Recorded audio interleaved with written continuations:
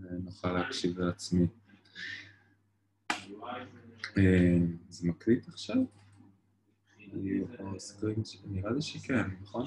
אתה רואה סימן של הקלטה. על המסך? שהשיחה בהקלטה?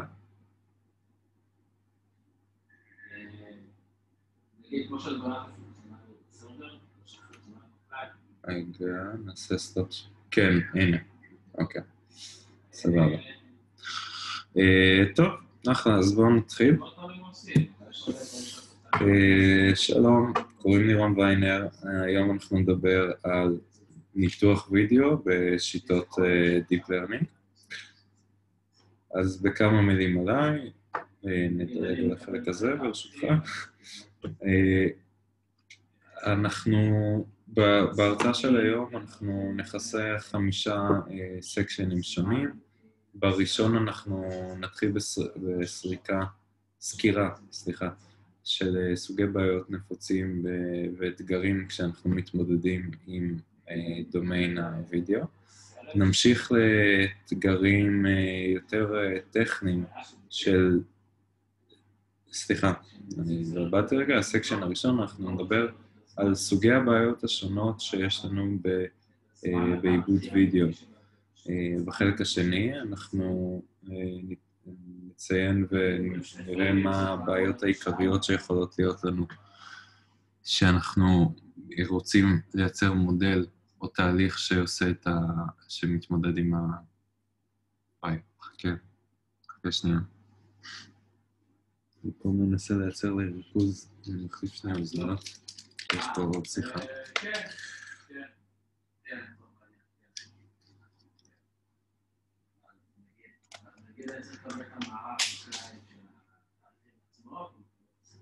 אתה שומע אותי? נכון.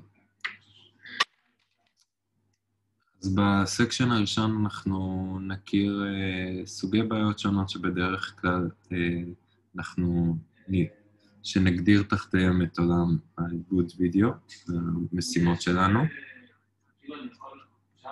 רגע, איך זה עכשיו? עכשיו בסדר? נכון. אז אנחנו נזכור בעיות שונות שנהוג לקטלג אותן כמשימות תחת דומיין של, של מידע מסוג וידאו. בחלק השני אנחנו נכיר את האתגרים שאנחנו צפויים להיתקל בהם כשאנחנו רוצים לייצר מודל או תהליך, מערכת שתתמודד עם, עם עיבוד וידאו.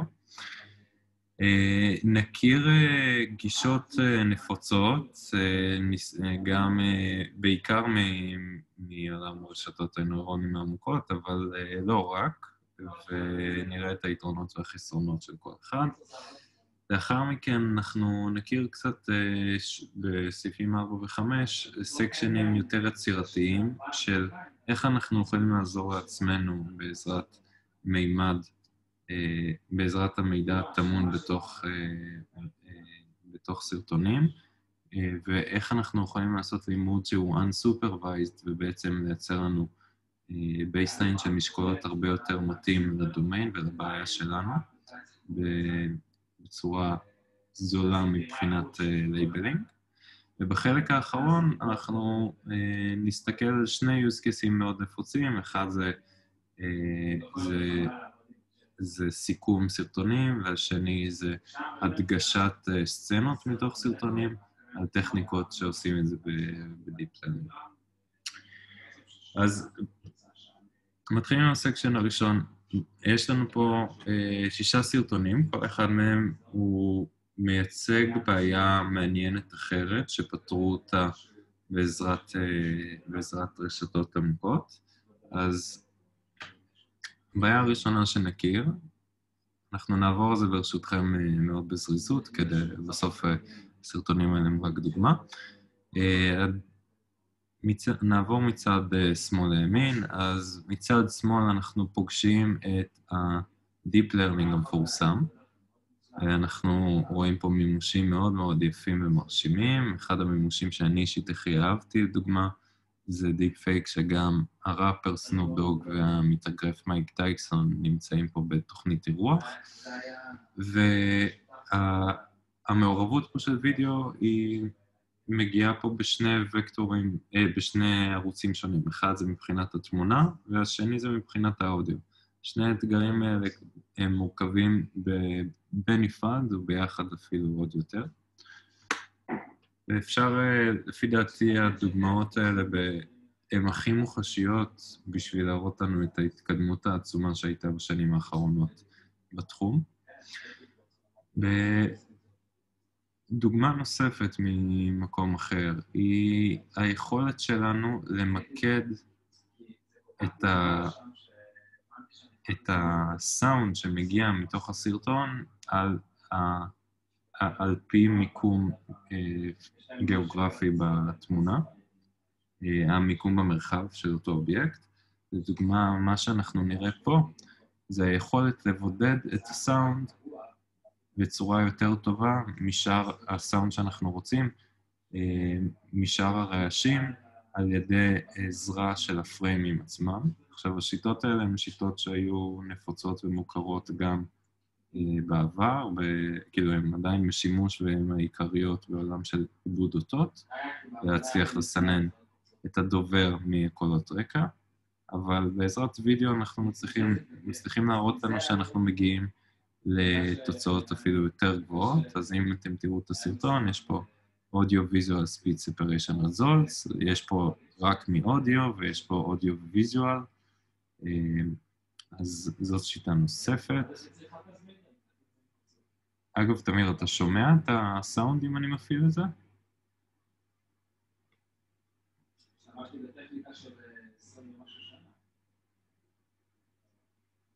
אז, אה, אוקיי. סבבה. לא, לא, אבל רק... אה, כן. אוקיי. ובדוגמה השלישית אנחנו רואים שיט... תהליך אחר. אה,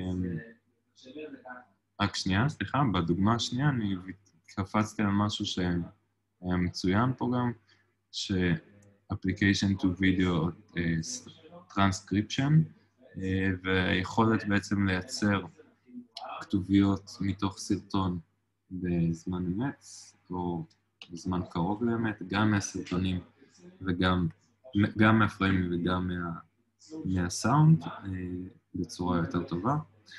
דוגמה נוספת לבעיה תהיה בעיית Action Recognition, אחת הבעיות הנפוצות בעולם של עיבוד וידאו שאנחנו עובדים. דרך מאוד מאוד נפוצה בשביל להקל על התהליך היא על ידי שימוש בסקלטון רקוגנישן, כמו שאתם רואים. הסיטואציה היא בעצם שיש איזושהי דמות או יש איזושהי פעילות בווידאו שאנחנו רוצים להביא לה את הקטלוג לסוג הפעילות, כמו אם במקרה הזה הדמות לובשת ג'קט, או עוד רגע האם הדמות מורידה את הג'קט, ודברים קודמים שהיו. אז הייתה דוגמה, האם הדמות מרימה משהו מהרצפה. אז כל דבר כזה זה בעצם אקשן שעבר לייבל אה, שקיבל את הקטלוג הרלוונטי. אה, יש פה עוד אה, שיטות גם, מדברים קצת יותר על עולם של ניתוח ההתנהגות. עכשיו, יש פה בדוגמה הזאת בעיקר את ה... זה דוג... הרחבה בעצם של העולם של Action Recognition, זה מימושים שהם טיפה שונים. אה, עכשיו, אתם יכולים בטח לדמיין איך הדבר הזה יותר משמעותי בדברים כמו זיהוי אנומליות וכל מיני דברים כאלה. אה, דוגמה, לא יודע בדיוק למה יש אנומליות בזה שהבן אדם קופץ בתוך החדר, אבל אתם יכולים לחשוב על זה בהקשר של אה, יותר מערכות אבטחה וכדומה, ואיפה זה בא לידי ביטוי שם. ודוגמה נוספת, video to video. אז אפשר אה, להגיד שזה דומה מאוד לעולם של, של deep fake. זה לא בדיוק אותו דבר, זה הייתי אומר אך מאוד קרוב. במקרה הזה, video to video, אנחנו יכולים לראות איך מתחילים מדוגמאות הרבה יותר פשוטות במימד של תמונות, שאיך אנחנו לוקחים, לדוגמה, רגע, איך אנחנו לדוגמה לוקחים תמונה ביום והופכים אותה לתמונה בלילה, בעצם אה, משלימים את ה... עושים ג'ינרות של, של השלמת המידע בהתאם. בווידאו שלו מסבירים שרואים עוד תמונה מעניינת שנייה לפני שנעבור לווידאו, זה לקחת ציור של אובייקט מסוים, במקרה הזה נעל, ולעשות לו השלמה אה, לדבר האמיתי. עכשיו, זה כלי שאתם יכולים לדמיין שמאוד מאוד עוזר במקרה הזה למעצבים אה, ואנשים בתחום. בדוגמה הזאת שאפילו קצת, אפילו יותר קיצונית, זה לא לקחת ציור של נעל, אלא לקחת ציור של בן אדם, והסרטון ישלים לנו את אותו הבן אדם אה, בהתאם. אז לדוגמה, הציור הזה יש לנו כמה אנשים, כמה נשים אה, פיקטיביות שמתאימות, והתהליך הזה הוא בעצם מייצר וידאו מתאים. עכשיו, והבעיה האחרונה שנפגוש לנו עכשיו, היא, בע... היא עולם של סינתוז מידע, שבמקרה הזה הם מדברים על היכולת לקחת סרטון עם קצב דגימה של לדוגמה 24 frame per second ולהעביר את זה ל-60 frame per second. יש פה גם אה, עולם שאפשר להגיד ג'ינרוט פריים הבא, אבל מצד שני זה, זה קצת יותר אה, מורכב מזה, כי זה השלמת מידע חסר אה, והמצאת מידע חסר, אפשר להגיד. אז יש את זה בהרבה הדגמות שונות, כמו שאתם יכולים לראות פה ולהעמיק בסרטון. אה, זהו, אז זה היה כמה דוגמאות, אבל אם ניקח את זה לשמות היותר אה, פשוטים, אז נגיד שיש בעיית, ופה נעבור על זה ממש במשפט וחצי, בעיית Action Recognition, קיים אובייקט במרחב שמבצע איזושהי פעילות, ואנחנו רוצים לדעת מה הלייבל של אותה פעילות, כמו הרמת פריט מהרצפה. object tracking, יש איזשהו אובייקט שנע במרחב, ואנחנו רוצים להצליח לעקוב אחר אותו אובייקט, כמו כדור שנזרק לסל, אני רוצה להצליח לעקוב אחרי הכדור. Uh, Complete Missing Information זה לדוגמה uh, מה שראינו בהשלמת פריים, הוספת מספר uh, פריימים לסרטון קיים. זה יכול להיות גם בצורה אחרת של אם יש בן אדם שיש אובייקט שמסתיר אותו, כמו רכב שמסתיר את הבן אדם, אז אני אולי ארצה להשלים את הדמות של הבן אדם. Sound to Object Match, אז יש פה uh, את הבעיה, כמו שראינו, של איך אנחנו מצליחים לבודד אודיו מפריט מבוקש בצורה הכי אופטימלית, כמו דובר ספציפי שנמצא בחדר הומי אדם ורעש. Predict next frame ו-sequence, בעצם לג'נרט וידאו. השימושים התעשייתיים שזה אני פחות יודע לציין, אבל ג'נרות וידאו זה יכול להיות חלק מבעיה מאוד, מהבעיה שראינו, שלוקחת את הדמות המצוירת וייצרה לה את הסרטון המתאים. video summarization, אתם יכולים לראות את ה... אפליקציה שזה בהרבה תחומים שונים, אם זה במצלמות אבטחה או באירועי ספורט והרבה מדיומים שונים. video to text, לייצר כתוביות אופטימליות על בסיס גם הסאונד וגם התמונות, ו deep fake כמובן, שנמצא בכל מקום. לפני שאנחנו נמשיך לנושאים אחרים, יש פה שני קישורים אה, עם מלאי אינפורמציה. הראשון מביניהם זה קישור למאגר data set ספציפי לעולם ה data סטים של וידאו. אנחנו בהמשך בתרגול נעבור עם אחד מה data סטים שנמצאים פה. אה, אתם יכולים לראות פה שתי עמודות הכי מעניינות, זה כמות ה sampling של אותו ה data set וכמות הקלאסים השונים, או ה labeling השונים. אה, וזה הכל בהקשר הזה. הקישור השני הוא repository שממשיך להתעדכן, עדכון אחרון היה לפני שלושה חודשים, של המון עבודות, קודים, מאמרים ודאטה סטים בתחום העיבוד וידאו. מאוד ממליץ להסתכל על זה, גם אם אתם מחפשים השראה עבודות דומות. אוקיי, אז עכשיו אנחנו ממשיכים לסקשן הבא, שנקרא בעיות בעיבוד הווידאו. אז הבעיות הטבעיות ומאוד אינטואיטיביות שאתם יכולים לחשוב עליהן, אה, הבעיה הראשונה היא מבחינה חישובית. בסוף וידאו זה, אה, זה מבחינה חישובית אה, ומבחינת חומרה שנדרשת בשביל פעילות מינימלית, פלוס מבחינת זמן ריצה שלא תמיד מתאפשר לנו, פלוס מבחינת כסף שבסוף זה עולה לנו. שאר הבעיה, הבעיה השנייה, אה, יש פה הרבה, בווידאו בעצם מכיל הרבה פיצ'רים, אה, גם מהצד של אה, ציר הזמן, גם מימד האודיו וגם רצף של הרבה מאוד פריימים. בסופו של דבר, יכול להיות שהתבנית של הדפוס שאנחנו מחפשים היא מאוד מאוד מורכבת. נקודה שלישית, לא תמיד אנחנו מקבלים וידאו לרוב נקבל וידאו עם, עם אורך אה, זמן שונים. אה, עבודה על סדרות זמן זה תמיד אה, דילמה, יש שם לא קצת דילמות בתחום הזה, אז זה גם נכנס לנו בעיבוד וידאו.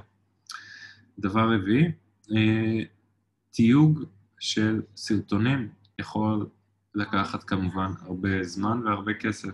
זה תלוי מאוד באיזה תיוג אנחנו מבצעים, אם זה ברמת פריים או ברמת רצף של פריימים. יש היום כלים מעולים שיכולים לעזור לאופטימיזציה של זה, אבל זה כבר עוד אתגר שמתווסף לנו. אז בנקודה, בנקודה הראשונה אנחנו נרחיב קצת על, ה, על העול החישובי ש, שקיים לנו. אז בשביל לעשות איזושהי השוואה למשהו, לקצת מספרים ולוחות זמנים, בואו נציג את uh, בעיית uh, Image Classification, התחרות שבוצעה על דאטה סט בשם ImageNet, ש... והקוד שזכה שמה. אז ImageNet, שיש פה קישור למי שרוצה להסתכל על הדאטה סט, יש שם כ-14 מיליון תמונות. המודל שזכה במקום ראשון uh, אומן על סינגל GPU כשבועיים. הרבה מאוד זמן, הגיע לתוצאות מדהימות, וזה משהו שנגיד ועוד אה, רובנו יכולים איכשהו להרשות לעצמנו. עכשיו בואו נדמיין שניקח את אותם כמות, ה... ש... שניקח משהו עם פחות sampling, קודם היינו עם 14 מיליון, אז בואו נדבר על 1.3 מיליון וידאוים, ונגיד שכל וידאו זה בסך הכל 30 שניות, לא ארוך מדי, עם 24 פריים פר סקנד, משהו גם יחסית סטנדרטי, ואנחנו מגיעים לכמות שהיא פי 720 בגודל מ-ImageNet. עכשיו, איך להתמודד עם זה? אה, מבחינת אימון רשת, זה לא יהיה שבועיים וגם לא ארבעה שבועות, אז אנחנו צריכים דרכים אחרות אה, בשביל לבצע את תהליך הלימוד והאימון שלנו. ו... אז שאלה מצוינת. אה, חלק מהדרכים זה בדיוק הטיפים שאפשר להסתכל עליהם פה, אה, שאנחנו נעבור עליהם עכשיו ביחד. אז דבר ראשון זה מבחינת כמות, זה דווקא פחות מתחבר האמת לשקף הקודם, אז אה, נשאיר את אחד הזה לסוף. לא, לא נשאיר את אחד לסוף. זה פחות מתחבר לשקף הקודם. אבל אחד מהאתגרים שאמרנו זה כמות האנוטציות אה, שאנחנו צריכים בשביל אה, ש... ש... לא, לא עניתי, אני... היא תהיה בנקודות בהמשך פה. כאילו... אז... אה, כן, כן, בסדר. אתה צודק, נענה על זה עוד מעט, כי זה, כי זה קוטע לי רצף אחר אם אני מחליף. אה, אז הדבר, אחד מהאתגרים שגם, שציינו כבר, זה אתגר של אה, כמות, של המחיר ש... והזמן שעולה לנו בלעשות אנוטציות חדשות. אז יש לנו דרכים יצירתיות שאפשר להתמודד איתן, שאנחנו אה, להיעזר בהן, וזה דרכים שנפגוש חלק מהן בהמשך ההרצאה. אה, והכוונה היא איך לעשות Self-Supervised Learning, בעצם להגיע למצב של איתחול משקולות, או מה שקוראים לזה גם Transfer Learning, אה, על ידי ה data הקיים שלנו. אז אה, זה דבר אחד. כשאנחנו מבצעים transfer learning, כמובן זה דבר שיכול לעזור לנו גם להכיר את הדומיין וגם את הבעיה. אחד מהש... מההחלטות שיכולות לעזור לנו, בזמן בעיקר, לפעמים גם באיכות, זה להקפיא את השכבות שכבר אומנו. פה אני מציין את זה בעיקר מבחינת הזמן של האימון, שזה יכול לעזור לנו. אני אתן הדגמה של שתי הנקודות שראינו עד עכשיו. אם אני מבצע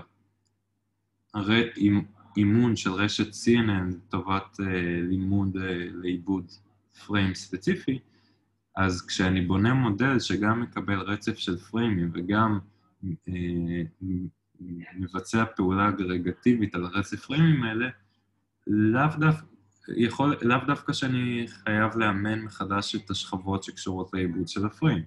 אם אני נועל אותם, זה כבר יכול אה, לשפר לי את זמני האימון משמעותית. דבר שלישי, כמובן, ריסייז לתמונות, ברוב המקרים, ממש רוב מוחלט של המקרים, יש לנו תמונות ברזולוציה הרבה יותר גבוהה ממה שהמחשב צריך בשביל לקבל את ההחלטה. קחו את זה בחשבון אה, ותעשו את זה נכון ותבינו את ההשלכות ש... ואת הסכנות גם שיש בטעויות שיכולות להיות שם. אה, שני נקודות 4 ו-5 הן דומות מאוד, אבל רציתי בכל זאת להפריד ביניהן בשביל להדגיש את הסיבות השונות. אז דבר ראשון, יש הרבה פעמים אה, יתירות מבחינת כמות פריימים. לדוגמה, אם אנחנו מצלמים סרטון עכשיו עם 60 FPS בשביל Action Recognition שמישהו נכנס בדלת, אה, אלא אם כן זה איזה סופרמן, כנראה שאנחנו יכולים להתמודד גם עם איזה 24 FPS ואפילו פחות מזה. אז במקרה, במקרה הזה יש דרכים שאת אחד מהם אנחנו נפגוש לדוגמה פה בהרצאה, לאיך לוותר ולדלג על פריימים אה, דומים. ולהצליח לעשות סינון ראשוני גס כבר. אמ, החלק הנוסף, שזה נקודה חמש, היא בעצם איך אנחנו יכולים לבחור בפריימים שהם יותר מייצגים ב... של הבעיה של, כאילו, עבור הבעיה שאנחנו באים לפתור. אה, במקרה הזה, דוגמה מצלמות אבטחה, בואו נחשוב על דוגמה כזאת. אה, מצלמת אבטחה, כנראה ש... כאילו, אנחנו יכולים לפרק את זה בצורה הרבה יותר פשוטה, וכל עוד אין לנו תזוזה ב, ב, ב, בווידאו, לא יעניין אותנו יותר מדי לבצע החלטה של, מה, של מי זז שם, לאיזה כיוון הוא זז, האם הוא נכנס ל, לא יודע, לחנות שלנו או לא. אה, בצורה דומה אנחנו גם יכולים להיעזר בשיטות של Object Detection, אה, ש... בשביל לעשות הרבה עיבוד מקדים שהוא הרבה יותר קל מבחינה חישובית, לפני שאנחנו ניגשים ל- לעשות את העיבוד וידאו המורכב יותר והכבד יותר. נקודה שש, שזה מחזיר אותי גם לנקודה אחת, זה ציר הזמן שלנו, אה, שהוא לייבל בפני עצמו. יש לו סדר מסוים, הסדר הזה ידוע מראש אה, ב metadata של הסרטון, אה, זה יכול לשמש אותנו בהרבה צורות יצירתיות, שבין היתר נפגוש גם אותן בהמשך ההרצאה. אז בהקשר לשאלתך, תמיר, אה, נקודות 3, 4 ו-5 הן בעיקר נוגעות לאיך אפשר להקל על עצמנו מבחינה חישובית, ושיטה 2 מבחינת החלק של הקפאת השכבות, זה גם יכול לעזור לחסוך זמן אימון מאוד מאוד כבד. עכשיו, אני רוצה להראות לכם כלי יפהפה, שבמקרה שלנו...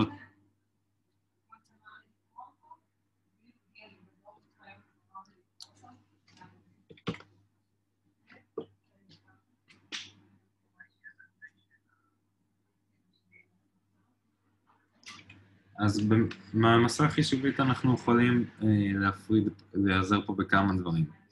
א', מבחינת, אה, אם אנחנו, בואו בוא ניקח לדוגמה scenario כזה, אני לא אומר שיש data set בדיוק כזה, ניקח את אותם אובייקטים שנמצאים ב-ImageNet, עכשיו אנחנו רוצים לראות אה, עבור כל אובייקט, כאילו גם לזהות את האובייקט, ו, ונגיד ויש עבור כל תמונה, ש, כל אובייקט שהיה קיים ב-ImageNet, נגיד שיש לו סרטון עם אותו אובייקט באיזשהו אקשן. נופל, עף באוויר, לא יודע אם זה בננה, אם אוכלים אותה, דברים כאלה, אוקיי?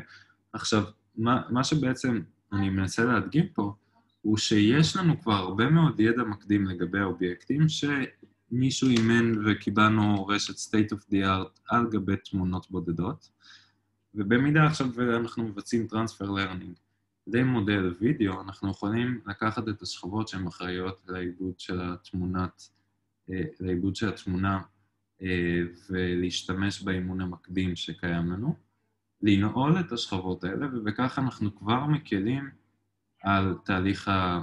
על זמן הלימוד שצריך בשביל ללמוד איך, לא יודע, בננה או תפוח נראים. עכשיו, זו דוגמה אחת שכבר יכולה להקל מאוד משמעותית על הזמן לימוד, על התהליך לימוד שצריך לבצע, כי אנחנו יודעים לקודד את האובייקטים שאנחנו מצפים לראות כבר. עכשיו, זה...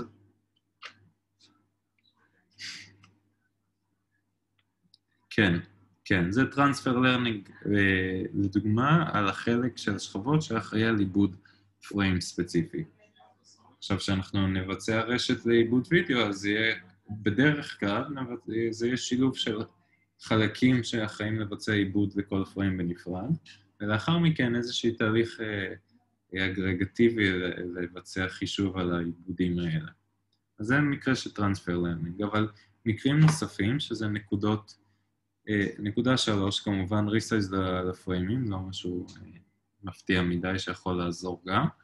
וסינון פריימים, שזה נקודה ארבע, להשתמש ב...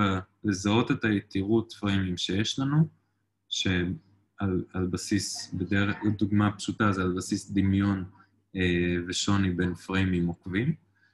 אז שם אנחנו כבר יכולים להריץ מניפולציה הרבה יותר פשוטה, ובמקום לקחת סרטון של 60 פריים פר סקנד, לייצר משהו של 10 פריים פר סקנד, שזה עשרה פריימים המייצגים נגיד, או הכי אה, תזוזתיים.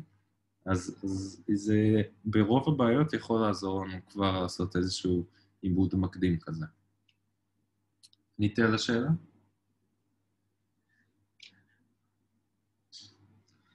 עכשיו, אני רוצה להראות פה כלי מאוד uh, יפה, שמתחבר לעולם של uh, אנוטציית uh, מידע. הכלי הזה הוא בעצם כלי לאנוטציית סרטון, שמשתמש בטכניקות שאנחנו בין היתר נפגוש פה, בשביל תיוג יותר אופטימלי. עכשיו, הכלי הזה עולה קצת כסף, וזה, אבל באמת הוא חוסך, הוא בא לחסוך לנו זמן. מה שאנחנו רואים פה הוא שאנחנו מבצעים קודם כל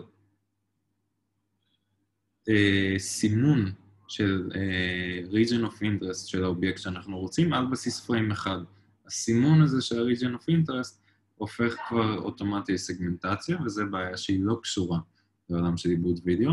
ולאחר מכן יש פה תהליך של, שאפשר, אה, שאפשר להתייחס אליו כ object tracking, שמזהה, הופה, הנה אני אעשה, שעכשיו מזהה בכל frame עוקב את, את אותו האובייקט, ובעצם על, אחרי, בכל פריים עלינו רק להשלים את המידע החסר. לדוגמה פה, אחרי כמה פריימים אנחנו יכולים רק ללחוץ עם הנקודה הירוקה על האזור שלא מסומן, והוא כבר יסמן את, ה, את החלק החסר. אז התהליך הזה יכול מאוד מאוד לחסוך לנו אה, הרבה מאוד זמן בתיוג, אבל כמובן, כמו שאתם יכולים לדמיין, נחזור על הדגשים של איפה אפשר לחסוך. יש פה המון המון פריימים, ואם אני רוצה לזהות שקיים פה כלב ים, אני חושב שזה כלב, כלב ים לפחות, אז לא, אני לא צריך את כל הרצף של הפריימים האלה. גם אם אני מסתכל, אם אני מסתכל על פריים הזה וגם על הפריים הזה, כנראה שלא השתנה פה כזה הרבה מבחינת האובייקט. אז דברים כאלה, אני אולי יכול לפסול את כל הפריימים שבדרך, או לדגום לפחות פחות מהם. אז יש המון כלים מצוינים, תחפשו אותם אה, ותשתמשו בהם, או תיקחו אותם לחשבון בשיקולים שלכם. אוקיי, אז ה-section השלישי, אנחנו אה, נדבר עכשיו על שיטות נפוצות, או ארכיט... יותר נכון ארכיטקטורות אה, נפוצות בתהליך של עיבוד וידאו. אז קודם כל בואו בוא נגדיר מבחינה באמת יותר של מבנה נתונים, מה, מה, מה זה וידאו? אז בצורה הכי פשוטה, יש לנו את ציר הקואורדינטות הספשיאליות, המרחביות, שזה ציר XY, בעצם כל תמונה בפני עצמה, יש לנו את ציר הזמן. אמ, לא משהו mind blowing, אבל בואו נראה פשוט איך אנחנו אה, יכולים, למה חשוב לנו להדגיש את הציר הזה בעצם אה, כשאנחנו בונים, משתמשים במודל כזה או אחר.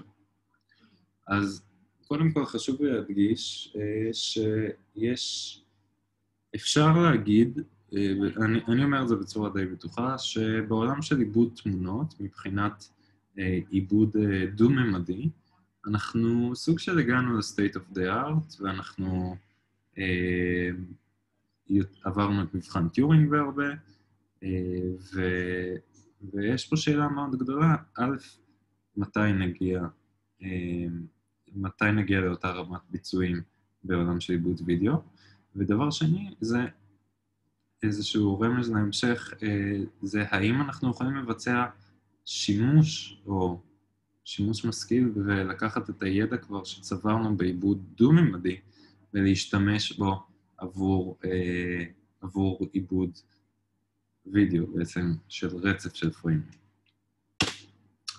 אז לפני שמכיר, שנסתכל על שיטות מעולם הרשתות עמוקות, כאן יש שני דגשים אה, ששווה, שחשוב להכיר. הראשון זה אה, אני החלטתי לקרוא לזה דילמת המיזוג, או ה... כן, המיזוג. דילמת המיזוג, אני מתכוון ל... אה, לכיצד אנחנו מתייחסים לרצף הפריימים שנכנסים אלינו בסרטון. מה שאנחנו יכולים לראות פה בסרטון, יש לנו ארבע דוגמאות שונות, שמלמטה הרצף שאנחנו רואים פה הוא בעצם, אפשר להסתק... להתייחס אליו כרצף של פריימים, אוקיי? לדוגמה ריבוע, אה, מלבן, סליחה, האפור הזה, הוא פריים בודד. גם הפריימים האלה הם פריימים בודדים. עכשיו, הצבעים הצבעון... המלבנים הצבעוניים שיש פה הם. למעשה שכבות שונות של הרשת, ובסוף האוטפוט של הרשת. ההדגמה הזאת אה, באה להראות שאנחנו יכולים, אם ניקח לדוגמה משימה כמו action recognition, שאני רוצה להבין האם יש לי משחק כדורסל או משחק כדורגל, כאילו מה, מה הסרטון שאנחנו רואים. אז בצורה הכי פשוטה, אני יכול לקחת כל אינפוט של, של פריים בודד, לבצע עליו תהליך עיבוד אה, תמונה בודדת, ולהביא את ה-prediction שלו. זה הדבר הכי פשוט וטריוויאלי אה, שאני יכול לעשות. יכול להיות שברוב המקרים זה אפילו יעבוד, יכול להיות, אבל כנראה שהוא יהיה רגיש מדי, ובטח שבטח הוא לא יתייחס לציר הזמן. הדוגמה השנייה, אנחנו יכולים לקחת, לדוגמה, פריימים עם איזשהו skip מסוים. הכוונה פה היא לאו דווקא רק הראשון והאחרון, אבל כן להגיד שיש איזשהו skip בין שני פריימים שאנחנו דוגמים. כל אחד מהם יכול לבצע עיבוד עצמאי, כאילו בערוץ נפרד, שזה יכול להיות עם shared weights, אבל לאו דווקא. אה, ולאחר מכן, בסוף העיבוד, נבצע מיזוג או שקלול של השכבות הסופיות של כל אה, מודל, ונתרגם את זה לכדי האוטפוט שאנחנו רוצים. האופציה השלישית היא לקחת רצף פריימים עוקבים ולהגיד, אוקיי, בואו ניקח במקרה הזה חמישה פריימים נשים אותם בקונקט, אחד ליד השני, ונדחוף את זה לשכבה הראשונה במודל, ומשם נרוץ על כל, כאילו פשוט בצורה סידורית, עד שנגיע לאוטפוט. וזה מה שהם מתייחסים אליו כ-early fusion. עכשיו, יש פה משהו שעושה סוג של מיזוג גם בין ה-early וגם בין ה-late, לקחת את הרצף של הפריימים, אבל לתת להם לכל, במקרה הזה, כל קבוצה, עיבוד ראשוני נפרד, אז אנחנו רואים מצד שמאל ארבעה פריימים שהולכים ל... ל... אה, במקרה הזה לרשת, לרשת אה, סליחה, לכמה שכבות עצמאיות. ארבעת פרמים נוספים הולכות לשכבות אחרות.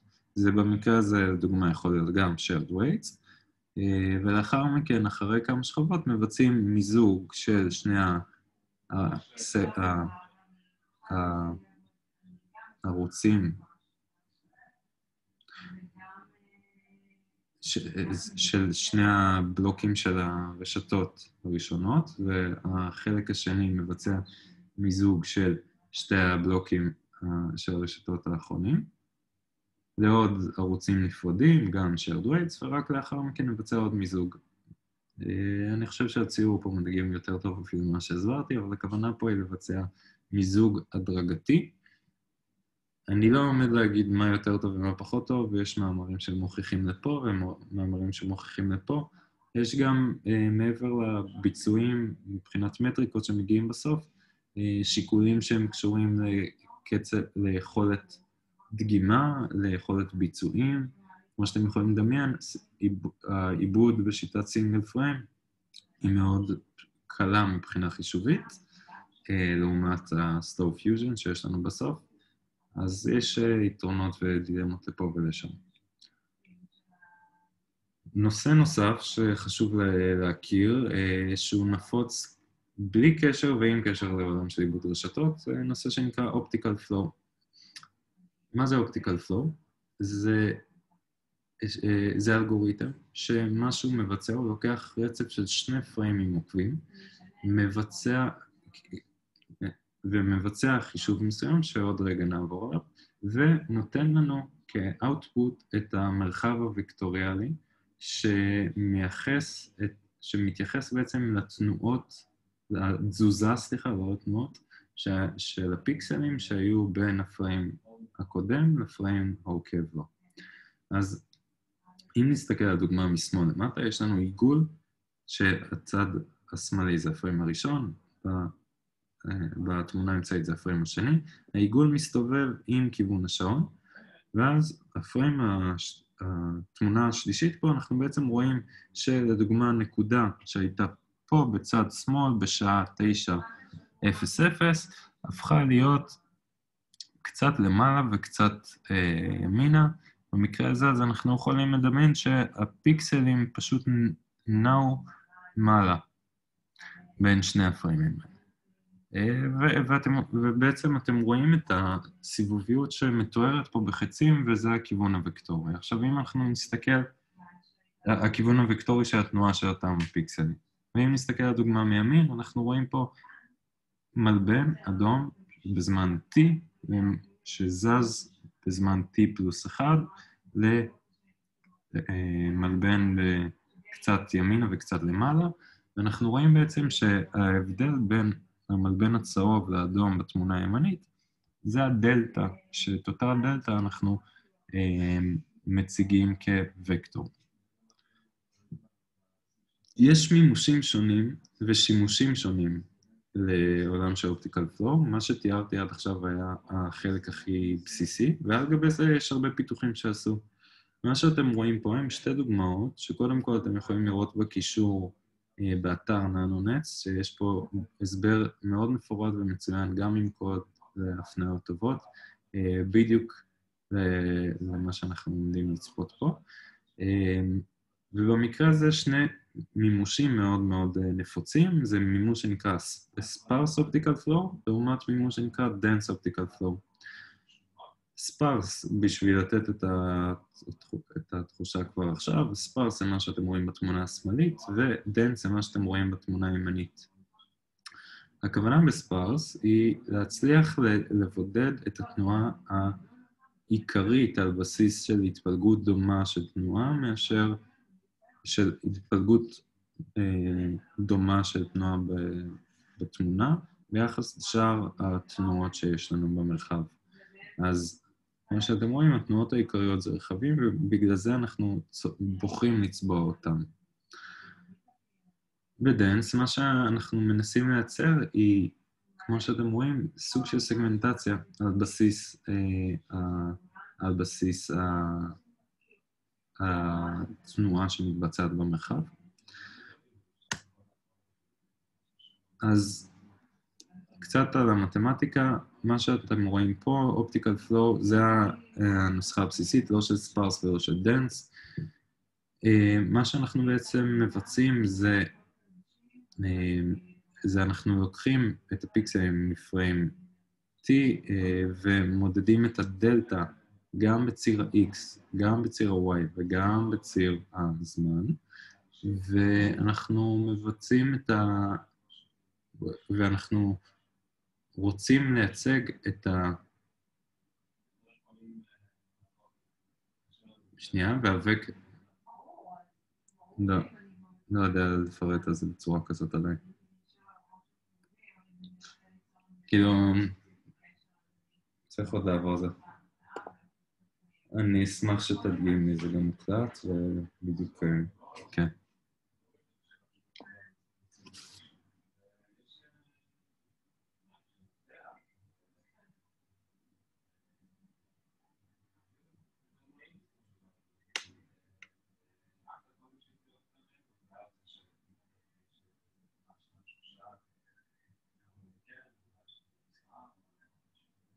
כן. כן, כן, זה התענוג. אהבתי ללמוד את זה, לא להיבחן על זה.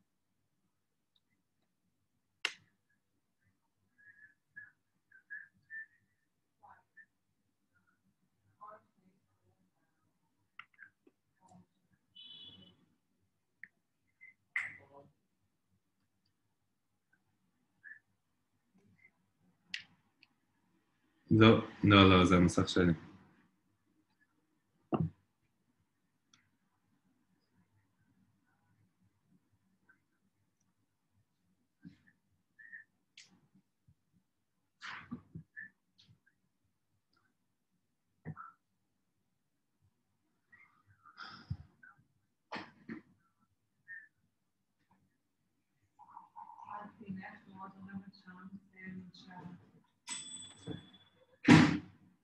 Mm-hmm.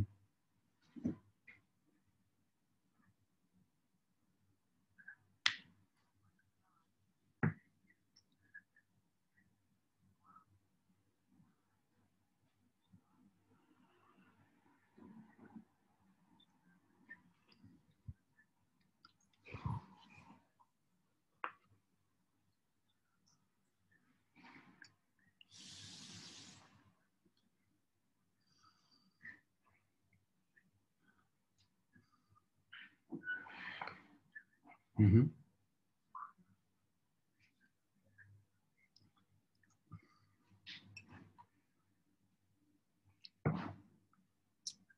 כן. כן. כן. מהמם.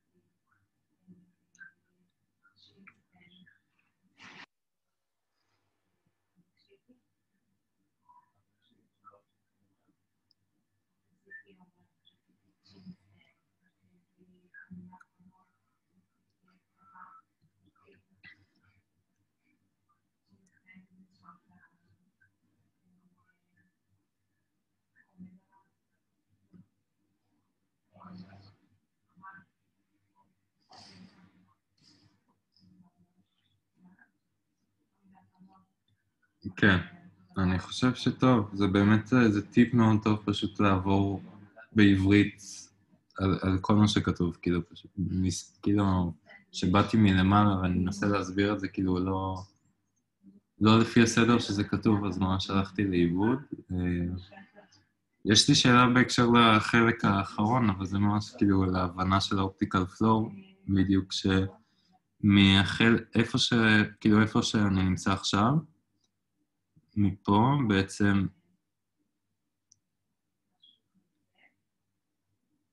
כאילו, איך אנחנו פותחים את זה כ... כ- זה האינטנסיטי של הפיקסלים שזזו בציר X, אה, שאנחנו אומרים, כאילו, שהתזוזה שלהם שווה לאפס. נכון? זאת הכוונה שלנו פה, שהאינטנסיטי של הדלתא של זה פלוס זה ועוד זה, אז בסוף אפשר לאפס אותו. אנחנו מניחים שקיים איזשהו כלל שימור אינטנסיטי לאורך ה... כאילו בין פריימים.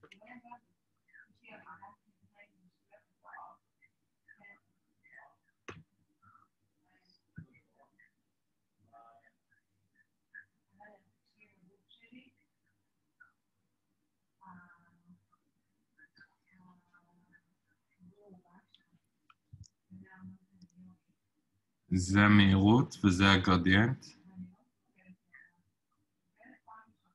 כן. כן, כן.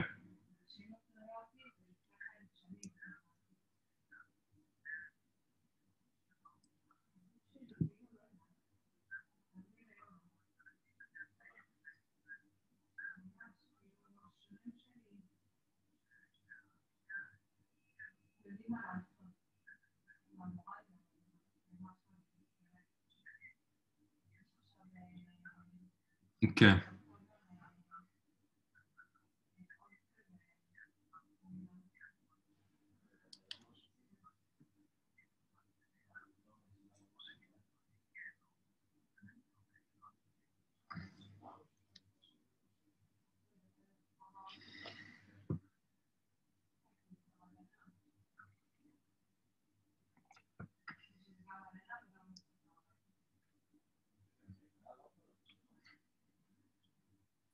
מהמם. תודה. תודה. אני, אני צריך עוד אה, ללמוד את זה יותר טוב ולתרגל את זה. אה, עדיין לא, עדיין לא. את, ה, את השני שקפים האלה, כאילו שני שקפים האלה אני צריך עוד אה, ללמוד ולחדד. אני, אני אנסה, כאילו, אני רוצה עוד ללמוד בעצמי, ואני, אבל אני עוד אדבר איתך על זה ממוקד, כאילו. אפשר שנעביר את זה בממוקד.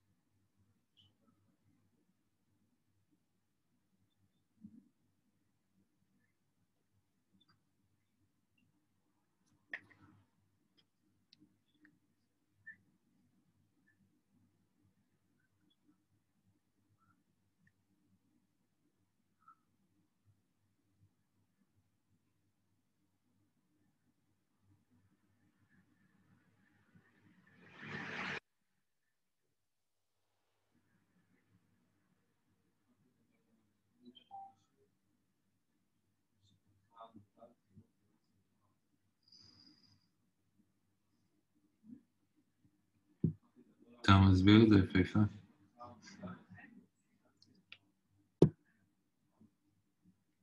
כן, זה יותר ברור, זה עדיין בדרך.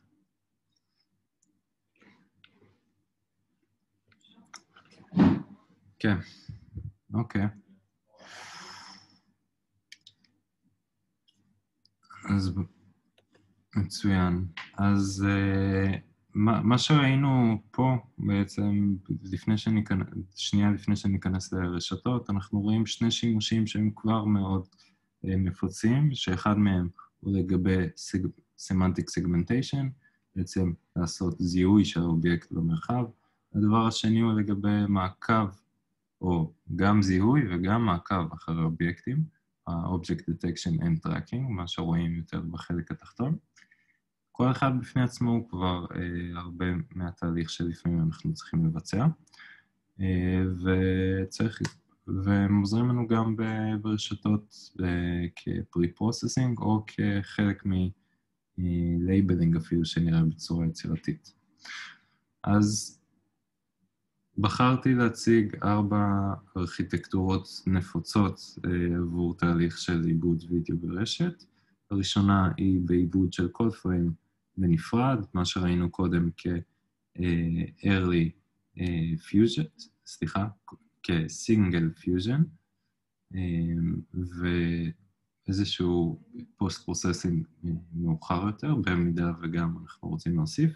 בחלק השני CNN ו-RNN, כמו שאתם יכולים לדמיין, עיבוד אה, של כל פריים בנפרד בתהליך אה, של 2D convolution כזה או אחר, ולבסוף אנחנו מבצעים אה, שימוש בשכבת RNN על בסיס רצף של פריימים שונים. השיטה השלישית היא שימוש ב-3D convolution, שבעצם ציר הזמן כבר מעורב בקונבולוציה עצמה, והוא יכול להיות גם ובשיטה הזאת בדרך כלל אנחנו מדברים על early fusion. השיטה הרביעית היא two-stream CNN, זה לא משנה אם באמת זה CNN או לא, אבל הכוונה היא הזנה של שני input vectors שונים, כל אחד מהם יכול להיות uh, מודל בפני עצמו, זה יכול להיות את אותו המודל ב-shared weights, אבל uh, שיש מיזוג או late, כאילו כנראה מיזוג late fusion, שאנחנו למזג את שני המודלים לכדי ההחלטה הסופית. אה, דגש, אה, רק לשים לב, ארבעת, ארבעת השיטות האלה בעצם משתמשות בציר הזמן בצורה מאוד מאוד שונה. אז הפתרון הטריוויאלי, נבצע CNN על כל אחד, לדוגמה, מה אנחנו רואים בתמונה הזאת? אנחנו רואים בן אדם, אם אנחנו רוצים אקשן, מה אנחנו רואים, מה ה-action שאתם חושבים? לפי דעתי הוא זורק איזה כדור, אה, כדור בייסבול או משהו דומה.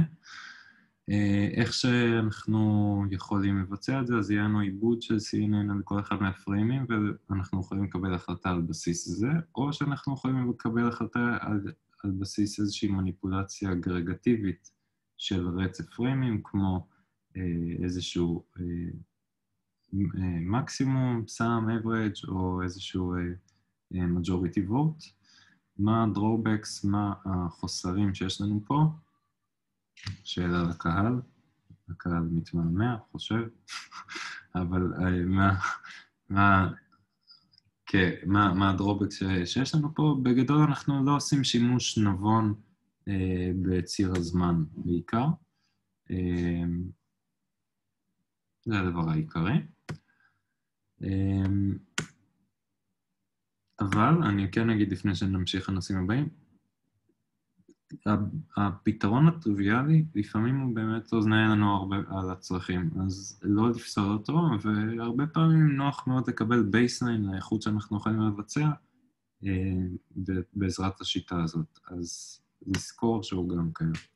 בשיטה קצת יותר, אה, יותר הולמת לדפוס שלנו. של הבעיה הזאת. יש לנו שיטה, אה, יש לנו עיבוד CNN על כל אחד מהפריימים, ולאחר מכן יש לנו שכבת RNN שתאחד בין ה... אה, בין ה-encoded וקטור של ה-CNNים. בעצם מה שהביא לנו, אמור אינטואיטיבית להביא לנו את, ה, את העיבוד לפי ציר הזמן. Uh, היום נהוג להגיד גם ש... CNN דו-ממדי לא פחות טוב מ-RNN, אה, גם יש תוצאות שמראות את זה, אז לא משנה אם למעלה נמצא לנו RNN שמאחד, את, שמתייחס לציר הזמן, או כל שיטה אחרת כמו אה, CNN, והמטרה היא בסוף לתת גשר מסוים בין, אה, בציר הזה. אבל בואו נתמקד בדוגמה של CNN ו-RNN, ובואו נחשוב מה הבעיה העיקרית שיכולה להיות פה. אמ, א', מבחינת זמן אימון, אנחנו, RNN זה, זה שכבות שלוקח בדרך כלל אה, הרבה זמן לאמן אותן יחסית, במיוחד כשמדברים על directional RNN ועושים הרבה שכבות, ובמיוחד שאנחנו מוסיפים את זה כבר לזה שיש לנו הרבה מידע פה, אה, בעצם רצף של הרבה מאוד פריימים. אמ, ו... אה, דבר אה, נוסף, אה, רגע, חתוך לי.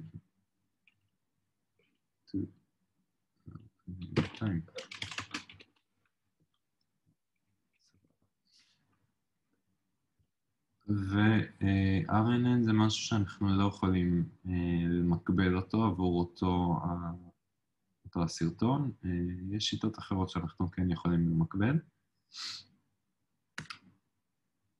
השיטה השלישית, שאפשר להגיד שהיא מורכבת יותר מבחינת יכולות אה, אלגוריתמיות, אלגוריתמיקאיות, וגם מבחינת ה-fine-tuning, הטיונינג שאנחנו צריכים אה, לבצע לפרמטרים, זה תהליך שהוא גם אה, לי יצא לפחות להתעכב שהוא דורש יותר מומחיות ויותר עדינות. מה זה בעצם 3D Convolution? עד עכשיו אה, ראיתם הרבה דוגמאות של 2D, ובסוף התוספת או ההרחבה שמתבצעת פה היא פעולת קונבולוציה גם על ציר הזמן. האילוסטרציה שאתם רואים מצד ימין מדגימה בדיוק את זה, אה, שיש לנו את אה, הציר המרחבי, הלטיטוד והלונגיטוד פה, ויש לנו תנועה של הקובייה הקובייה התלת-ממדית גם בציר המרחב, וגם יש לנו על ציר הזמן שאנחנו רואים פה. אה, בסוף אינטואיטיבית זה מאוד מאוד, אה, מאוד ברור, וכשאנחנו מבצעים פעולה כזאת, חלק מהקשיים או האתגרים שזה מייצר זה שאנחנו חייבים להחליט אה, כבר מראש את כמות הפריימים בעצם של ציר הזמן, של הצד התלת-ממדי של הקונבולוציה.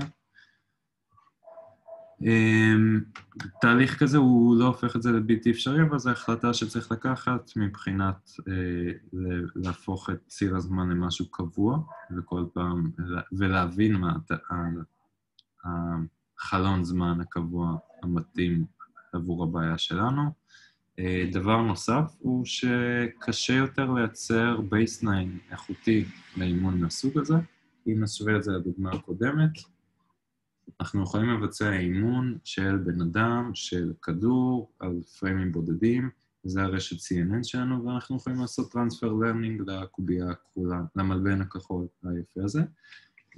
מנגד, פה אנחנו לא יכולים לעשות או, עם כוכבית מאוד גדולה, אנחנו לא יכולים לעשות את זה בקלות בצורה אינטואיטיבית, כי יש אנשים ומאמרים שמראים איך אפשר לבצע הרחבה של אימון קונבולוציה דו-ממדית לאימון קונבולוציה, ל, אה, לרשת קונבולוציה תלת-ממדית.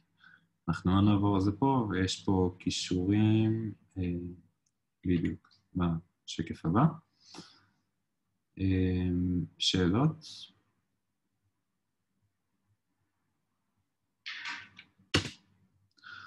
אז הדוגמה הזאת היא, היא אלגנטית ביופייה באמת, אבל היא מורכבת מעבר למה שאנחנו, ש... שעדיף שנעבור פה. יש פה קישור למאמר, מי שרוצה לקרוא ולהעמיק.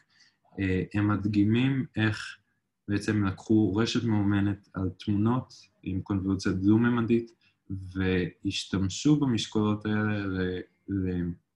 לרשת אה, של קונבולוציה תלת-ממדית, אה, ו... ו... וזה שיפר את התוצאות, או יותר נכון, גם חסר זמן אימון וגם עשה איתחול מאוד מאוד טוב. לדומיין שהם צריכים. מוזמנים לנסות ולשחק ולספר לנו איך זה יצא. הדוגמה הרביעית, דוגמה שבמקרה הזה two-stream CNN, המילה CNN היא דוגמה, היא לא מחייבת, הכוונה היא הזנה מקבילית של שני input vectors שונים אמ, למודלים שמתאמ... שלכל אחד זה יכול להיות שכבות, זה יכול להיות אה, shared weights, אבל לאו דווקא, זה יכול להיות שכבות שונות לגמרי, שנעבור מצד שמאל לימין, יש לנו input של הפריימים מסוג RGB, יש לנו את, הפ... את, ה... את ה input אה, שבעצם ה optical flow, כמו שראינו מקודם.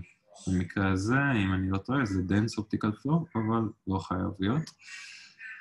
אה, ויש לנו late fusion של השכבות האחרונות, לטובת ה output שאנחנו רוצים. אה, הרבה ממה ש... כאילו, יש הרבה מאוד דוגמאות ומאמרים שמדברים על השיטה הזאת, בסוף מימד הוידאו הרבה פעמים מתמקד בתנועה הספציפית, נמחיש את זה בדוגמה מאוד מאוד פשוטה. האם הדמות בתמונה שראינו מקודם מרימה כובע מהרצפה או מניחה כובע על הרצפה? אז בסוף הפריימים אותם דומים, הם מאוד דומים, רק בסדר, ציר זמן הפוך. ויכול להיות שציר הזמן הזה יכול להיות, אה, יכול להיות מוסבר מאוד מאוד אה, פשוט בעזרת ה optical flow. אה, אם נרצה להבין האם בן אדם ישן או הולך או יושב, אז action recognition מהסוג הזה, יכול להיות ש optical flow כבר יכול להיות אחלה דרך לחלץ פיצ'רים. אז זה, זאת שיטה נוספת שהיא מאוד מאוד נפוצה. מה ה drawbacks? בעיקר מבחינה חישובית הייתי אומר. אה, בנוסף הייתי אומר גם שקשה יותר לבצע לזה tuning, זה לא הופך את זה לבלתי אפשרי, זה פשוט דורש, ככל שהמודל מורכב יותר, אה, ובמיוחד בהקשר הזה שהדאטה כבד יותר, סליחה, אז אה, זה מתיש קצת יותר לבצע tuning אה, מבחינת אה, אה, כל התהליך של יצירות מודלים שלנו. האם יש שאלות?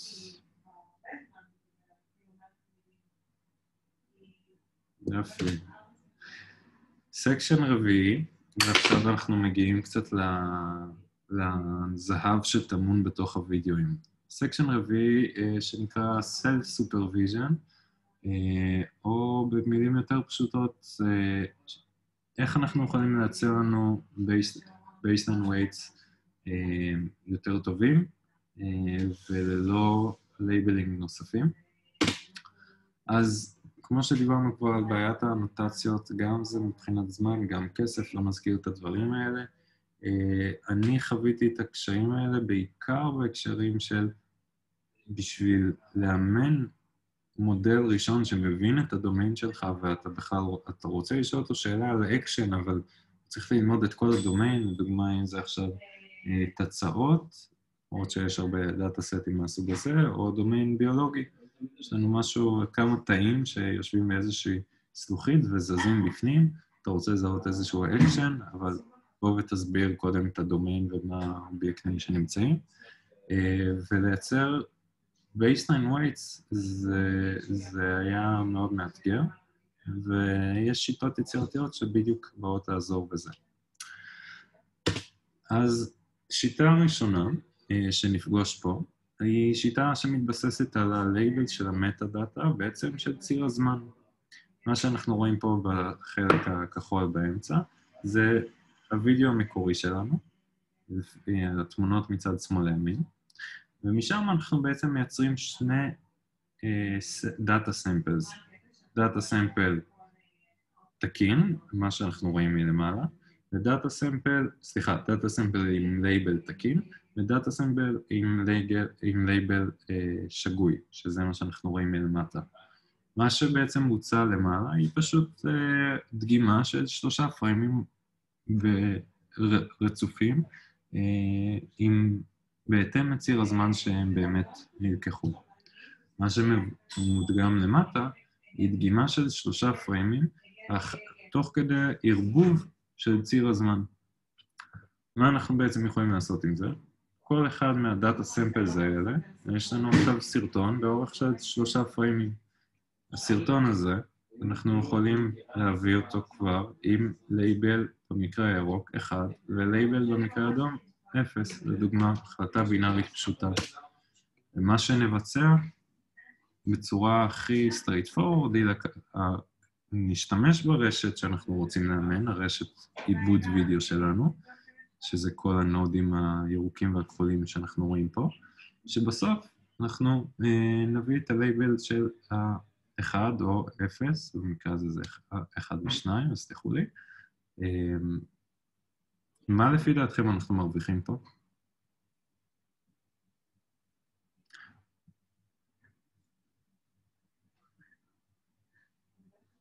אתה...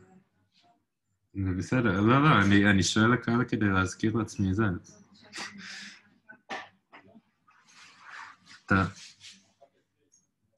אני... אתה רוצה שנמשיך מחר?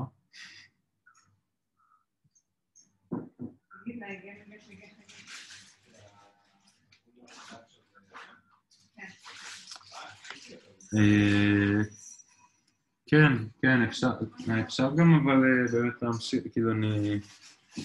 אני...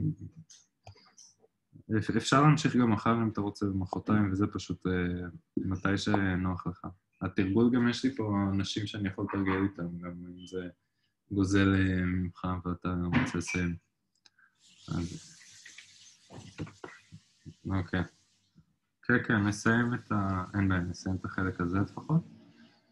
אמ, אז במקרה הזה ראינו איך, כאילו, מה אנחנו לומדים פה? גם הרשת עצמה לומדת כבר לבצע עיבוד של התמונות וגם עיבוד של מרחב הזמן, אה, וכל זה בלי, אפשר להגיד, לבזבז את ה labeling היקרים שיש לנו, כמו אקשן של זריקת כדור בייסבול, אוקיי? או תפיסת כדור בייסבול.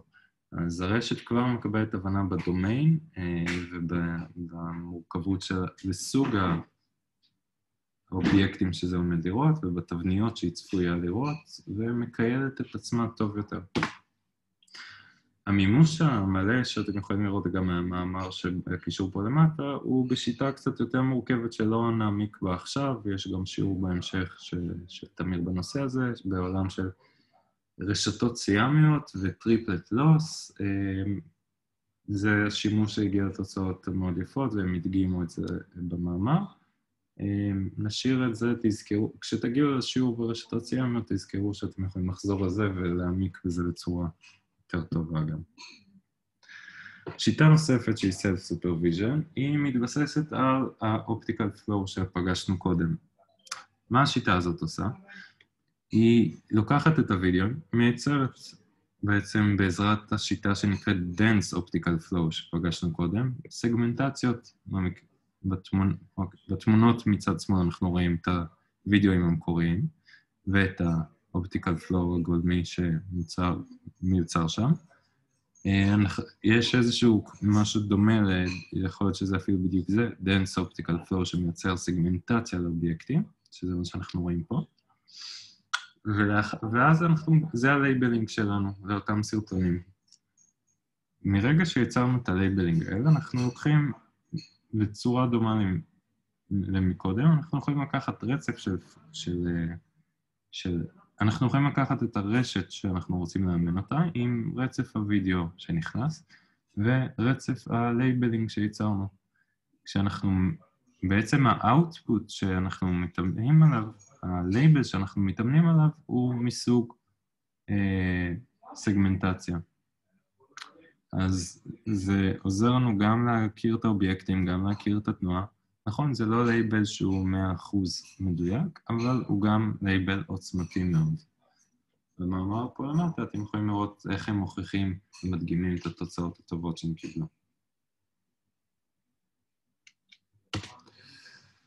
דוגמה אחרונה וחביבה מהסוג הזה, אה, יש לנו, רוב הווידאוים מגיעים לנו גם עם vision input וגם עם אודיו input. צורה הכי פשוטה, אנחנו יכולים לקחת אודיו של סרטון, של הסרטון הנכון, לדוגמה, הדמות שמנגנת בכינור, עם האודיו הרלוונטי, ולהגיד שזה לייבל פוזיטיבי, תקין, אה, ולקחת אודיו של סרטון אחר ולהצמיד אותו לאותו, אה, לאותו visual input ולהגיד שזה לייבל לא תקין. בצורה כזאת אנחנו יכולים להגיד כבר בצורה, אה, אנחנו יכולים למצוא, לאמן את הרשת שהיא תדע לקשר בין אודיו לבין vision בצורה מאוד מאוד טובה ומהירה. לאחר מכן אנחנו יכולים גם להתקדם אפילו לדוגמאות יותר מורכבות כמו, אה, כמו אה, מיקוד אודיו במרחב על בסיס התמונה והסרטון בעצם. וכמובן שבתוך זה גם יש פה אימון של הרשת, של האודיו בצורה טובה, וגם של הרשת הוויזואלית בצורה טובה יותר, אה, לטובת איתחול משקולות. זה מפורט כמובן במאמר שנמצא פה למטה. אז כל אלה היו שיטות שונות שאנחנו יכולים לקחת את האינפוט שנמצאנו בווידאו ולהציג אותו כחלק מ... סליחה, להשתמש במידע שטמון לנו בתוך הווידאו, או ב metadata או באודיו, או אפילו רק בתנועה, ו...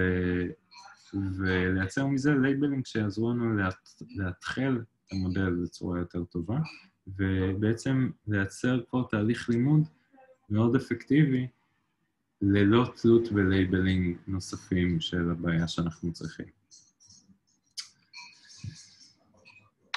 בסקשן האחרון שלנו אנחנו נדבר על שני use cases נפוצים, הראשון video summarization והשני הוא הדגשת uh, סצנות. שני, שני הסצנריונים האלה הם גם יכולים לעזור לנו, כמו שאמרנו, בחיסכון חישובי, אבל גם בהדגשה של, אה, של העיקר לעומת הטפל בתוך הסרטון, אה, לטובת חיסכון זמן שלנו כשאנחנו מבצעים איזשהו תהליך אה, על הווידאו.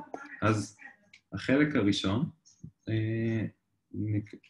המטרה שלנו היא לזהות בשני פריימים עוקבים את השוני שמתבצע באותו אזור במקרה הזה אותם ריבועים, אז אנחנו רואים את פריים T ורואים פה שני ריבועים שנגזרים. אנחנו רואים את פריים T פלוס 1 ואנחנו רואים את שני הריבועים שנגזרו בדיוק באותו מקום, ואפשר לראות את הדמיון בריבועים שנגזרו פה. אנחנו במקרה הזה יכולים לראות שזה מאוד מאוד דומה. מצד שני, אם אנחנו לוקחים שני פריימים עוקבים אחרים, כמו מה שרואים פה בצד ימין, אז רואים מאוד מאוד מהר שיש שוני מאוד גדול, ב, אפשר להגיד, ב intensity, ב distribution, בפיקסלים שנמצאים לנו. המטרה במדידה הזאת היא לעזור לנו במשהו שנקרא, שאפשר לקרוא לו אה, שינוי, זיהוי שינוי סצנה במקרה הזה, או, במקרה, או בצורה יותר גנרית, זיהוי ש, אה, שוני בין פריימים. יש פה קישור למאמר אם אתם רוצים גם לקרוא מפה. אה, והמטרה שלנו עכשיו, אחרי שפגשנו את השיטה, אנחנו יכולים לקחת, לעשות pre-processing על כל שניים או רצף פריימים שאנחנו בוחרים, למדוד את השוני בין frame בכל מיקום במרחב, את השוני בין זמן t לבין זמן t פלוס 1, לבצע אגרגציה על גבי כל הפיקסלים, וזה השינוי שלנו בזמן ה-DT שלנו. אז זה, זה, לא, זה יכול להיות גם ככה וגם ככה, תלוי מה אנחנו בוחרים. אנחנו יכולים להגדיר חלון ואנחנו יכולים להגדיר פיקסל, מה שאנחנו... עדיף להגדיר חלון, זה, זה יהיה יותר רובסטי, אם אנחנו מתחילים למדוד את השוני בכל פיקסל זה יהיה קצת אה, רועש מדי כנראה. אה, אבל הכוונה היא לעשות איזשהו חלון, אפשר לבצע איזשהו pooling בסיסי, מיצוע כזה, או משהו בסגנון, או, וזה כנראה יהיה יותר אה, נכון לבצע את זה בצורה כזאת. ברגע שמדדנו עבור כל, כל אה, אה, שני פריימים עוקבים או n פריימים עוקבים את השוני, אנחנו יכולים לראות בצורה מאוד משמעותית את כמות הפריימים ש...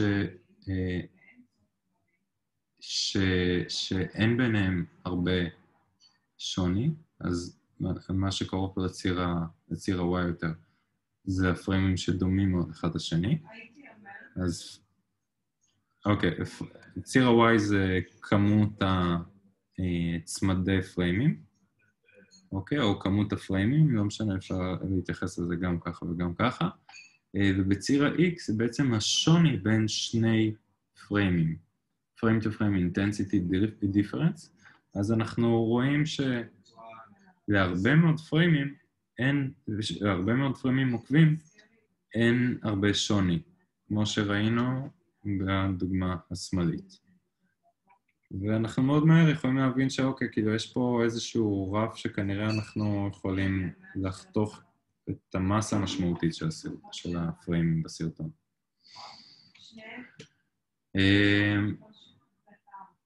לחתוך זה אומר לא להכניס אותם לחישוב, זה דבר ראשון.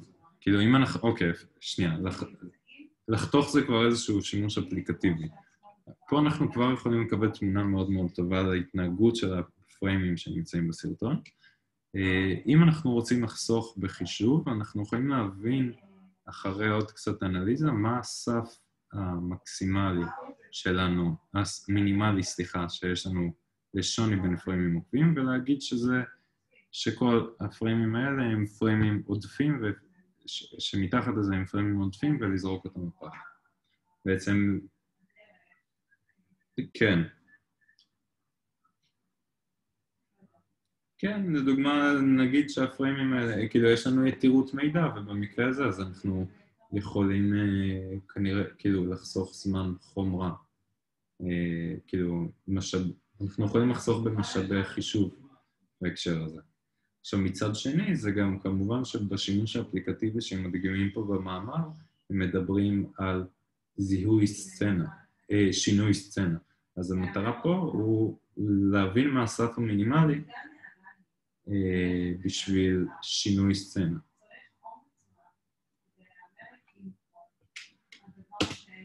ובדרך אה, נוספת, מורכבת יותר, אך אלגנטית אה, הרבה יותר אפילו, היא שימוש ברשת בצורה מאוד unsupervised, עם קצת עבודת אה, Data Engineering אה, כללית יותר.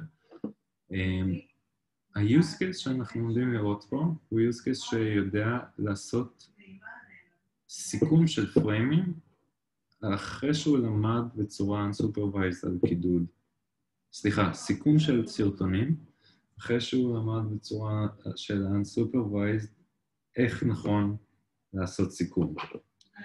מה, מה אנחנו בעצם אה, רואים? קודם כל, המאמר נמצא בקישור הזה. מה ש... התהליך שהם ביצעו הוא שימוש באוטו-אנקודר שהם בנו, אה, שהוא אוטו-אנקודר, אה, כמו שהם קוראים לו פה, אה, Robust Recurrent Auto-Encoder trained on a collection of user-edited videos. מה זה בעצם אומר? החלק הימני העליון פה זה בעצם המודל שלנו, האוטו-אנקודר הרובסטי היפה מאוד שהם, שהם יצרו. על מה הם אימנו אותו? הם אימנו אותו על דאטה סט של סיק, סיכומי סרטונים, סליחה, סיכומי סרטונים שהם הורידו ביוטיוב. אז הם חיפשו סרטוני גלישה ביוטיוב והורידו אותם. כנראה שהסרטונים ביוטיוב הם כבר עברו איזשהו סיכום וטיוב לטובת ההצגה שלהם. והם לקחו את זה כלייבל. מנגד, עכשיו יש סרטון של uh, מישהו ששם גו פרו על גלשן וגולש ארבע שעות, ו- וזה הסרטון הגולמי.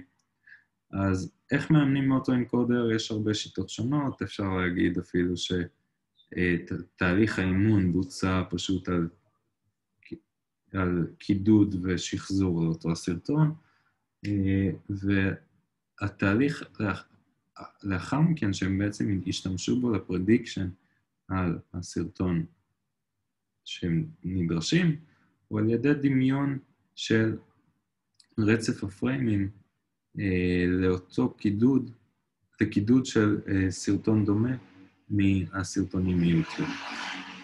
והאוטפוט שהם קיבלו מהצורה הזאת הוא האוטפוט של פריים ששווה להדגיש אותו, highlight, או פריים שהוא פחות מעניין, שהוא outlier. אנחנו נראה פה כמה דוגמאות.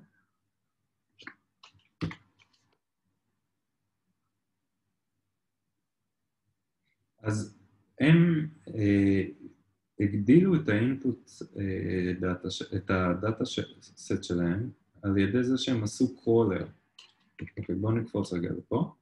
הם עשו crawler על יוטיוב, שבעצם אוסף סרטונים אה, של, מאותו הדומיין. לדוגמה, היו, אוקיי, ניקח רגע צעד אחורה. לי יש אה, הרבה סרטוני אקסטרים, שהמטרה שלי היא להצליח לעשות סיכום יפה של אותם סרטונים. סרט... סיכומים טובים. בדיוק.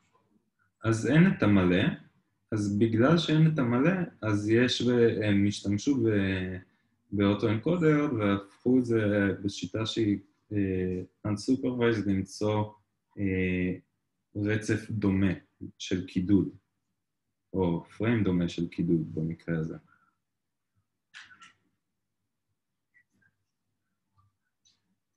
נכון, נכון.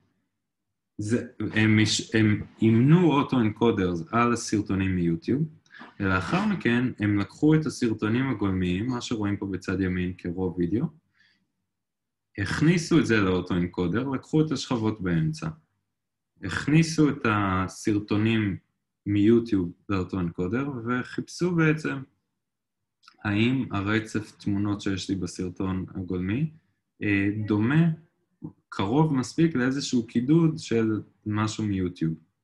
אם כן, תכניס לי את זה כ-highlight, כאילו תביא לו לייבל של highlight. אם לא, תביא לייבל של אוטו. שזה רצף, כן, כן, highlight, שזה רצף מעניין. אחרת, תגיד שזה רצף לא מעניין.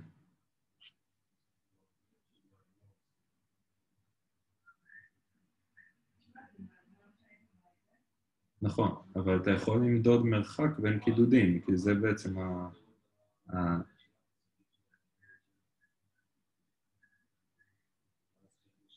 אם הוא דומה מספיק, מתחת לסף, לא, לא, פריימים מסוימים. פריימים מסוימים ש...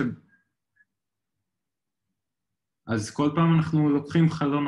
בואו נסתכל, כאילו, בואו נסתכל על דוגמה מהרצף של הסרטון הראשון, של skiing שיש לנו. אז אנחנו יכולים לראות שכשלוקחים רצף את הפריימים הראשונים, כאילו כל פעם אנחנו חותכים חלון אחר של פריימים, שאנחנו משווים את זה לקידוד של סרטונים מיוטיוב, אנחנו רואים שהקידודים האלה קיבלו לייבל שזה לא מעניין, אוקיי? במקרה הזה ירוק זה לא מעניין ואדום זה כן מעניין, אז כי... כי... כן, כן. The blue bars uh, represent reconstruction error, where highlighted tend to have smaller errors. Uh, הכוונה היא המרחק של הקידוד של התמונות האלה, או רצף תמונות האלה, מתמונות או רצף תמונות מיוטיוב.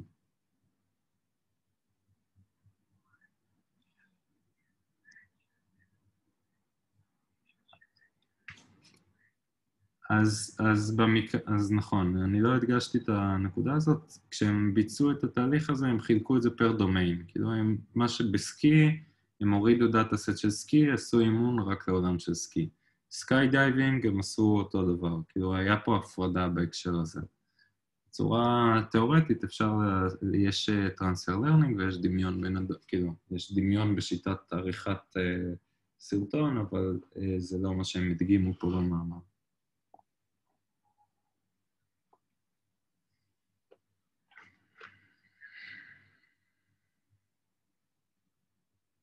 כן, כן.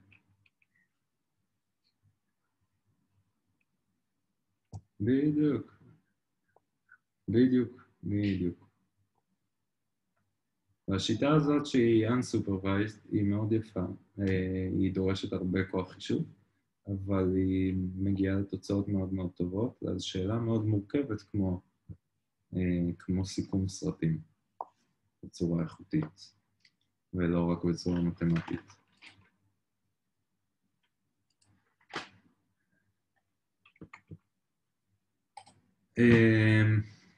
And that's all, folks. Uh, ועכשיו uh, אנחנו נעבור לתרגול, בתרגול אנחנו uh, נתרג... נעבור על כמה מהדוגמאות שראינו. הדוגמה הראשונה היא לייצר מודל ראשוני שמבצע עיבוד וידאו, נכיר את הדאטה סט של הוידאו, שפגשתם אותו באחד, בבלוג בתחילת ההרצאה. Uh, כן,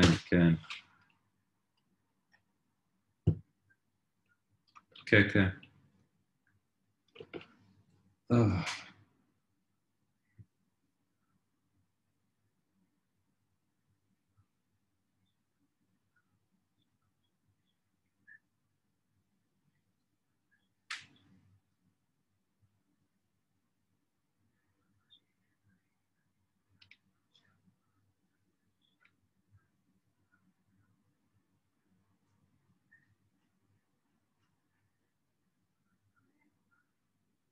היא מאתגרת.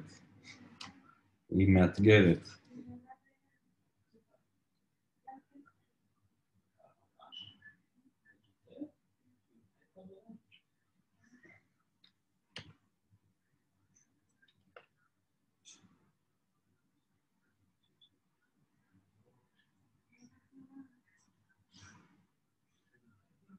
כן.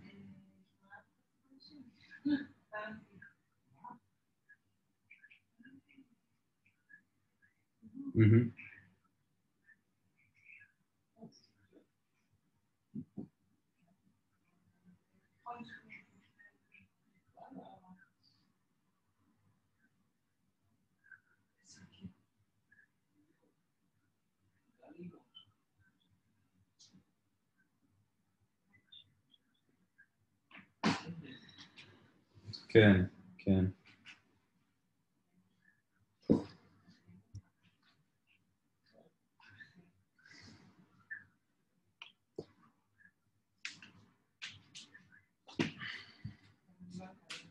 אני אזכור על זה.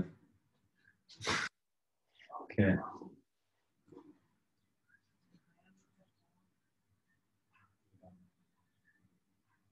ברור, ברור, אבל...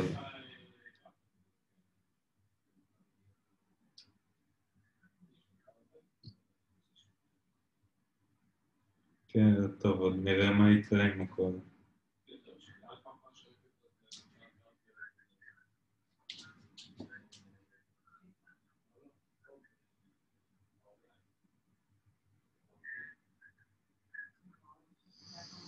אני מרגיש הרבה יותר טוב, ממש הדגישים שלך מפעם קודמת ממש עזרו לי. האופטיקל פלואו, אני חייב לשבת על זה. אני צריך גם לקרוא את התיאוריה, גם לשחק עם כמה דוגמאות, וגם להסביר את זה לעצמי, ואחרי זה בסוף גם לך. אני חייב להשתתף שם, אבל אני מרגיש ממש הרבה יותר טוב עם המצגת היום.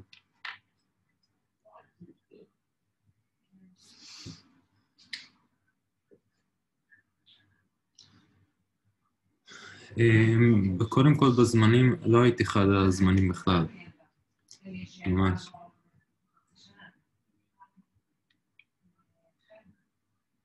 נכון.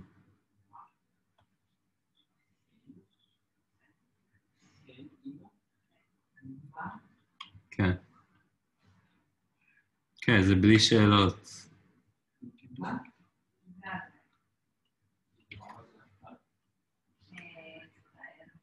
כן.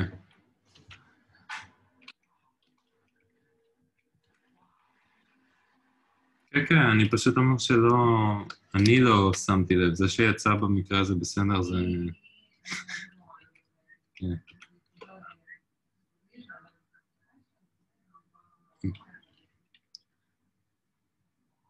כן.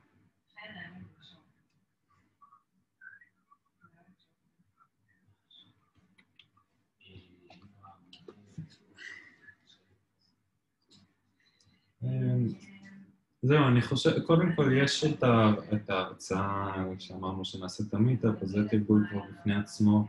אני חושב שנקודתית נעשה על האופטיקל פלואו, כי זה ממש אפשר להגיד נושא שלא צריך. הרגשתי שגם הנושא האחרון, הוא, אני צריך להשתפר במסרים שלו, כאילו בסדר של המסרים שלו, של הלמידת הסופרוויזד אוטו-אנקודר וזה. אה, אז אני חושב שלא, אין צורך לעשות את הכל עוד פעם, אבל כן אה, נחליט אולי כך בממוקד בנושאים האלה.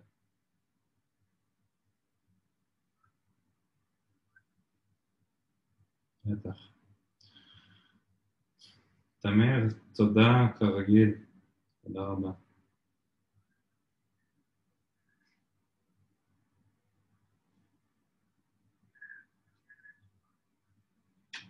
כן, בטח, בטח. כן. מצוין. לילה טוב. לילה.